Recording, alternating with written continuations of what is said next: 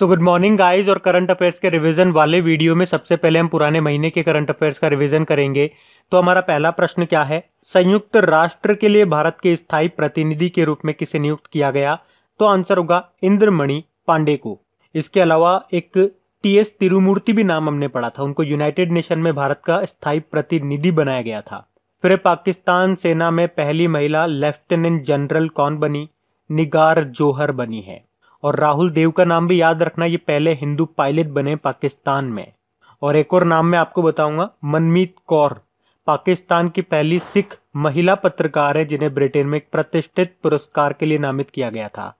फिर एक किस राज्य या यूनियन टेरिटरी में पौधे लगाओ, पर्यावरण बचाओ अभियान शुरू किया जाएगा? तो आंसर होगा दिल्ली में। फिर एक किस भारतीय अमेरिकी को 2020 ग्रेट इमिग्रेंट सम्मान से सम्मानित किया जाएगा? तो आंसर होगा सिद्धार्थ मुखर्जी को। और राज चेट्टी को। तो कोविड 19 के समय स्वास्थ्य संकट को दूर करने के प्रयासों में जो इन्होंने योगदान दिए हैं, उसके लिए मिलेगा इनको सम्मान। फिर एशिया रीजन के लिए कॉमनवेल्थ शॉर्ट स्टोरी प्राइज 2020 से किसे सम्मानित किया गया? आंसर होगा कृतिका मांडे को। तो the great Indian tea and snacks story के लिए मिला इनको ये सम्मान। फिर किस राज्य के मुख्यमंत्री ने ई ग्रंथालय, ई लाइब्रेरी का उद्घाटन किया? तो आंसर होगा उत्तराखंड। फिर केंद्रीय फ़िल्म प्रमाणन बोर्ड यानी कि central board of film certification के नए सीईओ कौन बने? रविंदर भाकर। फिर इंडियन ऑयल कंपनी के नए अध्यक्ष के रूप में नियुक्त किया गया श्रीकांत माधव वैद को। और याद रखना, एक तो ये इंडियन ऑयल कंपनी और एनटीपीसी ये दोनों मिलकर के दिल्ली के ओखला में वेस्ट टू एनर्जी प्लांट बनाएँगे। फिर एशिया का पहला कॉन्टिन्यूस गैल्वेनाइज्ड रेबार उत्पादन सुविधा केंद्र का उद्घाटन किया गया पंजाब में। रेबार मतलब हो गया रेनफोर्समेंट बार सरिया आप कह सकते हो हिंदी में।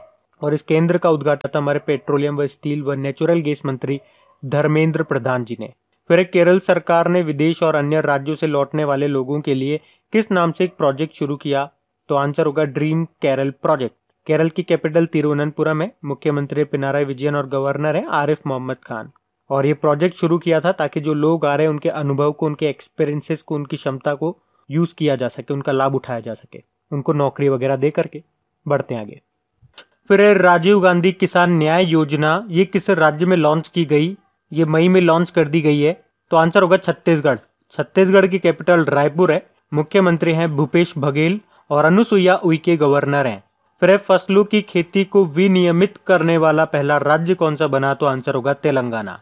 इसका मतलब ये हो गया कि सरकार बताएगी कि किस क्षेत्र में कौन सी फ़सल करनी है। किसान अपने हिसाब से नहीं करेगा, सरकार के हिसाब से करेगा। इसका मतलब ये हो गया।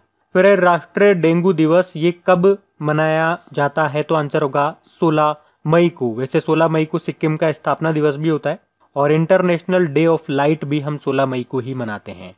फिर आदिवासी युवाओं को कुशल बनाने के लिए कार्यक्रम शुरू किया गया था। तो उस कार्यक्रम का नाम था GOAL, going online as leader. और इसको शुरू किया था हमारे जनजातीय मामलों के मंत्री अर्जुन मुंडा जी ने, जिनका निर्वाचन क्षेत्र है खुंटी झारखंड। जो कि आर्चरी एसोसिएशन ऑफ़ इंडिया के भी अध्यक्ष हैं। फिर रक्षा मंत्री जी ने किस नाम से इंडियन कोस्ट गार्ड यानी कि भारतीय तटरक्षक बल के एक जहाज़ को कमीशन किया था? तो यहाँ ऑप्शन में आपको मिलेगा सचेत। उसका नाम था सचेत। और आपको याद होगा इसी के साथ दो interceptor boat C four fifty और सी फोर फिफ्टी वन को भी कमीशन किया था। रक्षा मंत्री हमारे राजनाथ सिंह, जिनका निर्वाचन क्षेत्र लखनऊ, यूपी। फिर किस राज्य की पुलिस ने कोरोना योद्धाओं के लिए thermal corona combat hand gear launch किया हेड गियर लॉन्च किया तो आंसर होगा दिल्ली पुलिस ने। फिर एक किस आईआईटी ने M I R A H D covid nineteen dashboard विकसित किया तो आंसर होगा आईआईटी गांधीनगर ने। फिर है 2021 में ग्यारहवीं हॉकी इंडिया सीनियर पुरुष राष्ट्रीय चैंपियनशिप का आयोजन। ये कहाँ पे किया जाएगा तो आंसर होगा महाराष्ट्र में और महिलाओं का जो होगा चैंपियनशिप वो यूपी में होगा। फिर पाकिस्तान क्रिकेट बोर्ड ने किस क्रिकेटर को नया वनडे कप्तान नियुक्त किया था तो आंसर होगा बाबर आज़म को। वैसे टी ट्वेंटी पाकिस्तान की जो टी ट्वेंटी टीम है, उसके भी यही है।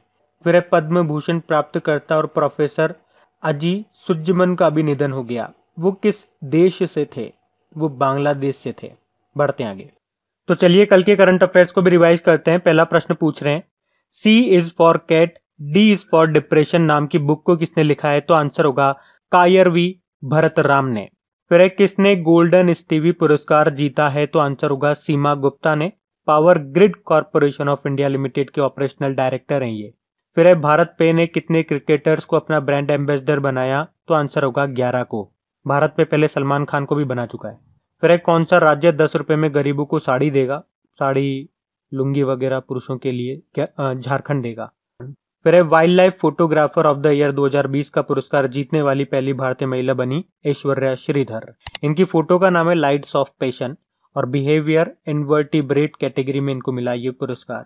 जो इसका मेन टाइटल है, वो तो जीता था रशिया के सरगेई गोर्स्कोव ने। फिर किस बैंक ने व्हाट्सएप पर बैंकिंग सेवा को शुरू किया तो आईडीबीआई बैंक ने इसका हेडक्वार्टर मुंबई में है और इसके सीईओ हैं राकेश शर्मा। फिर लॉन्सेट मेडिकल रिपोर्ट के अनुसार भारत में जीवन प्रत्याशा दर बढ़कर कितनी हो गई है? सेवेंटी पॉइंट एट ईयर्स फिर एक केंद्रीय शिक्षा मंत्री ने बौद्धिक संपदा, साक्षरता और जागरूकता अभियान के लिए किस कार्यक्रम को शुरू किया? कपिला कलाम अभियान को. फिर भारतीय निर्वाचन आयोग ने किसे विशेष पुलिस पर्यवेक्षक, यानी कि स्पेशल पुलिस ऑब्जर्वर नियुक्त किया? मध्य प्रदेश के लिए तो आंसर होगा मृणाल कांत दास को. फिर भारत ने किस देश को आईएनएस सिंधुवीर देने की घोषणा की? ये एक पनडुब्बी है सबमरीन है। म्यांमार को, और ये म्यांमार का पहला सबमरीन होगा। फिर भारत सरकार ने भारत को ट्रांस फैट मुक्त बनाने का लक्ष्य कब तक का रखा है? 2022 तक का। फिर है, किस राज्य सरकार ने राज्य के हर पुलिस स्टेशन में महिला हेल्प डेस्क खोलने का फैसला किया? तो आंसर होगा उत्तर प्रदेश सरकार ने। बढ़ते हैं आगे। तो स्टैटिक क्वेश्चंस को भी देख लेते हैं अब। पाकिस्तान के प्रेसिडेंट बताओ। सबको पता है, आरिफ अलवी है। कैपिटल इस्लामाबाद है करेंसी है। पाकिस्तानी रुपया प्रधानमंत्री है इमरान खान। और मैं आपको भी पीछे बता ही चुका हूँ, राहुल देव का नाम। पाकिस्तान एयरफोर्स के पहले हिंदू पायलट बने वो, ये भी याद रख लो। फिर वर्ल्ड प्रेस फ्रीडम डे यह मनाते हैं तीन मई को। और वर्ल्ड प्रेस फ्रीडम इंडेक्स 2020 भी याद कर लो, उसमें भारत 142 नंबर पे रहा था, टॉप पे नॉर्वे था। अच्छा इंडेक्सेस पे शायद मैं आपको एक वीडियो अभी तक दे चुका हूँ 2020 में। शायद वीडियो दिया है या ऑडियो दिया है, मैं कुछ तो दे चुका हूँ आपको, लेकिन जल्दी एक और वीडियो मैं आप लोगों के लिए लेकर के आ रहा हूँ। लेटेस्ट इंडेक्सेस को हम लोग उसमें कवर करेंगे। और कोशिश रहेगी एमसीक्यू की फॉर्म में मैं वो वीडियो तैयार करूँ, ताकि उसकी क्विज भी बना करके आपकी क्रेक एग्ज़ाम एप्लीकेशन में अपलोड कर दी जाए तो आप क्विज भी लगाते रहो टाइम टू टाइम में। लेकिन इंडेक्सेस से पहली मेरी कोशिश है, जो नोबल प्राइज का मैंने आप लोगों से बोला था ट्रिकी वीडियो बनाने का। एक्चुअली टाइम नहीं मिल पाया मेरे को, इसलिए को इसलिए मैं नहीं बना पाया, लेकिन अब कोशिश कर रहा हूँ। कैसे भी टाइम करके दो तीन दिन में अपलोड कर ही दूँ उसे। और जैसे ही वो अपलोड हो जाएगा, उसके एक आध दिन में इंडेक्सेस का भी आ जाएगा। मोस्टली प्रॉब्लम टाइम की रहती है। वरना जितना होता है, मैं आप लोगों के लिए कोशिश करता हूँ। अच्छा देखो प्रेस फ्रीडम की बात हुई है ना? एक नाम मैं आपको और बताऊँगा। फ्रीडम ऑफ़ स्पीच अवार्ड मिला था अभी। भारतीय पत्रकार हैं सिद्धार्थ वरदराजन को। वो भी नाम याद रख लो। फिर कितने भारतीय पत्रकारों को 2020 का पुलित्सर पुरस्कार मिला? तो आंसर होगा तीन को। और फोटोग्राफी कैटेगरी में मिला है इनको ये। सारे के सारे जम्मू कश्मीर से थे तीनों के तीनों। क्या नाम थे? एक का नाम था चन्नी आनंद, एक है मुख्तार खान और एक है दार यासीन। फिर है 2019 का राजीव गांधी खेल सम्मान। 2019 का पूछ रहे हैं। वैसे अब तो 20 का भी आ चुका है, पाँच खिलाड़ियों को मिला है 20 में तो। अब 2019 में पूछ रहे हैं तो आपको पता है ये दीपा मल्लिक और बजरंग पुनिया। ठीक है? 2019 का याद नहीं रहे तो कोई बात नहीं, लेकिन 2020 के तो याद रखो आप पाँचों खिलाड़ियों के नाम। चलो अभी कमेंट बॉक्स में लिख करके बताओ, वो पाँच खिलाड़ी कौन है? जिनको मिला है राजीव गांधी खेल रत्न पुरस्कार 2020 का। साथ में ये भी बताओ कि जो राजीव गांधी खेल रत्न पुरस्कार में जो विजेता राशि है, उसको बढ़ा करके कितना कर दिया गया?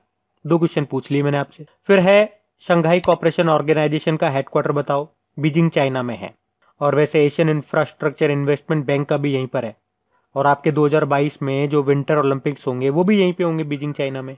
फिर है the nightingale of India Bharat की कोकिला, किनको कहते हैं? सरोजिनी नायडू जी को कहते हैं। और मैंने आपको कई बार बताया, इनका जन्मदिन होता है तेरह फरवरी को, जिस दिन हम नेशनल वुमेन्स डे मनाते हैं। फिर लेडी विद द लैम्प के नाम से किनको जाना जाता है? फ्लोरेंस नाइटिंगल को, ये ब्रिटिशर थी। और इनका जन्मदिन होता है 12 मई को, जिस दिन हम इंटरनेशनल नर्स डे मनाते हैं। फिर है ब्राज़ील के प्रेसिडेंट कौन है? जेयर बोल्सनारो हैं। ब्राज़ील की कैपिटल है ब्राजीलिया करेंसी है ब्राजीलियन रियल अच्छा मैं अगर आपसे पूछूँ, अभी ब्राज़ील में कौन भारतीय राजदूत इंडियन एम्बेसडर बने? सुरेश के रेड्डी बने थे। फिर इराक के नए प्रधानमंत्री कौन है? मुस्तफ़ा अल कदीमी इराक की कैपिटल होती है बगदाद करेंसी होती है इराकी दिनार। फिर ईरान की नई करेंसी क्या होगी, ये बताओ? नई करेंसी की घोषणा की गई थी ना? तोमान होगी तोमान। पहले इसकी करेंसी थी रियाल, अब बनेगी तोमान। और एक तोमान में कितने रियाल? दस हज़ार रियाल। ईरान की वैसे कैपिटल तेहरान है और प्रेसिडेंट है हसन रूहानी। बढ़ते आगे। अच्छा गाइज़ अगर आप में से कोई स्टूडेंट बैंक एग्ज़ाम की प्रिपरेशन कर रहा है तो आपके लिए एक आवश्यक सूचना। सबसे पहले तो एक फ्री लाइव टेस्ट कंडक्ट करवाया जा रहा है। आप सभी बैंकिंग एक्सपीरियंस के लिए। तो अन अकेडमी लेकर के आया है अकोलेड स्कॉलरशिप टेस्ट और ये टेस्ट बिल्कुल आपके प्री एग्ज़ाम की तरह होगा। उसी पैटर्न पे होगा, जैसा आप रियल में आईबीपीएस का एग्ज़ाम देने जाते हैं, उसी तरह से क्वेश्चन आपके सेट होंगे। नेगेटिव मार्किंग होगा टाइम सेट होगा क्वेश्चंस का। और जब आप टेस्ट सबमिट कर दोगे तो आपको आपकी रिपोर्ट भी शो होगी। ताकि आपको ये पता चलेगा कि आपने कैसा परफॉर्म किया है। आपके क्या स्ट्रॉन्ग पॉइंट है, क्या वीक पॉइंट है। और आपकी वीकनेस आपको पता चलना ज़रूरी है। क्योंकि वीकनेस पता चलेगी तो आप उन्हें सही कर पाओगे सही टाइम पे, एक स्ट्रेटेजी बना करके। और सबसे अच्छी बात यह है कि ये जो फ्री टेस्ट होगा, ये केवल एक बार नहीं होगा। आप इसे हर महीने की 18 तारीख को फ्री में दे पाओगे। और इस मंथ जो टारगेट एग्ज़ाम है, वो रखा है आईबीपीएस क्लर्क प्री का। अच्छा और इससे भी बड़ी बात, आप अपनी कमियों को दूर करके और अच्छा परफॉर्म करो। इसके लिए आपको एनकरेज भी किया जाएगा। कैसे? टॉप फाइव स्टूडेंट्स को प्राइज दे करके, जिसमें फ़र्स्ट प्राइज होगा पाँच हज़ार रूपए का अमेजन वाउचर सेकंड प्राइज चार हज़ार रूपए का अमेजन वाउचर थर्ड प्राइज होगा तीन हज़ार रूपए का अमेजन वाउचर और फोर्थ प्राइज होगा दो हज़ार रूपए का अमेजन वाउचर और पांचवा प्राइज होगा एक हज़ार रूपए का अमेजन वाउचर। मतलब देख रहे हो, आपको एक रुपया भी नहीं देना है। ऊपर से आपको अपनी तैयारी को टेस्ट करने का मौका भी मिल रहा है और अगर आप अच्छा स्कोर कर रहे हो तो आपको प्राइज भी मिल रहा है। तो अगर आप भी बैंक एग्ज़ाम की तैयारी कर रहे हैं तो आप भी इन टेस्ट का बेनिफिट उठा सकते हैं और ये प्राइज अपने नाम कर सकते हैं। तो ये टेस्ट आपको कैसे देना है, कहाँ पे देना है, उनका लिंक आपको नीचे डिस्क्रिप्शन में मिल जाएगा। तो इम्पोर्टेंट डेज़ की बात करेंगे, पहला प्रश्न है, शून्य भेदभाव दिवस ज़ीरो डिस्क्रिमिनेशन डे कब मनाते हैं? एक मार्च को, और इस बार की थीम थी zero discrimination against women and girls महिलाओं और लड़कियों के खिलाफ शून्य भेदभाव। फिर है विश्व नागरिक रक्षा दिवस वर्ल्ड सिविल डिफेंस डे ये हमने एक मार्च को मनाया, जिसकी थीम थी protection of children our responsibility बच्चों की सुरक्षा, हमारी ज़िम्मेदारी है। फिर है विश्व वन्य जीव दिवस वर्ल्ड वाइल्ड लाइफ डे ये हमने तीन मार्च को मनाया, जिसकी थीम थी sustaining all life on earth पृथ्वी पर सभी का जीवन बनाए रखना।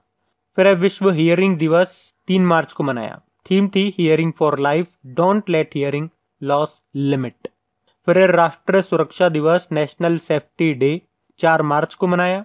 और इसकी क्या थीम थी? Enhance health and safety performance by use of advance technology फिर है जन औषधि दिवस ये हमने मनाया सात मार्च को, फिर अंतर्राष्ट्रीय महिला दिवस आठ मार्च को मनाया गया। इसकी थीम थी I am generation equality, realising women's right. अच्छा ये तो इंटरनेशनल वुमेन डे हो गया। आठ मार्च को जो हम मना रहे हैं, एक नेशनल वुमेन डे भी होता है, जो हम सरोजिनी नायडू जी के जन्मदिन को मनाते हैं, कब? तेरह फरवरी को। फिर है वर्ल्ड किडनी डे, बारह मार्च को मनाया। वर्ल्ड स्लीप डे, ये हमने मनाया तेरह मार्च को। और एक और होता है इंटरनेशनल पाई डे। जो हम चौदह मार्च को मनाते हैं। पाई की वैल्यू क्या होती है? थ्री पॉइंट वन फोर तो यहीं से आप निकाल सकते हो थ्री मतलब तीसरा महीना और वन फोर मतलब फोर्टीन डेट आप निकाल दोगे फोर्टीन मार्च को। तो गाइज़ ये था आज का हमारा करंट अफेयर्स का रिवीजन वाला वीडियो अगर वीडियो अच्छा लगा है तो इसे अपने दोस्तों के साथ में शेयर ज़रूर करना और कम से कम एक लाइक ज़रूर कर जाना। अच्छा एक और बात। अभी मैंने आपको जो स्कॉलरशिप टेस्ट के बारे में बताया है, उसके अलावा Unacademy India largest learning platform पर प्लस सब्सक्रिप्शन लेकर आप सारे एडुकेटर्स के कोर्सेज उनके रिकॉर्डेड या लाइव वीडियोस मॉक टेस्ट वगैरह previous year questions doubt sessions ये सब एक्सेस कर सकते हैं। और इतना ही नहीं crack exam ten promo code use करके आपको मिलेगा इंस्टेंट टेन परसेंट डिस्काउंट तो ये अपॉर्चुनिटी बिल्कुल मिस मत कीजिए। जल्दी से एनरोल करें। लिंक आपको नीचे डिस्क्रिप्शन में मिल जाएगा। अब हमेशा की तरह कुछ क्वेश्चंस आप लोगों से पूछे जाएँगे क्वेश्चंस आप लोग लगाइएगा और देखिएगा कितने क्वेश्चंस आप लोगों से सही बन पा रहे हैं। बाकी हम इनको कल सॉल्व करते हैं। ये रहे क्वेश्चन आपके सामने।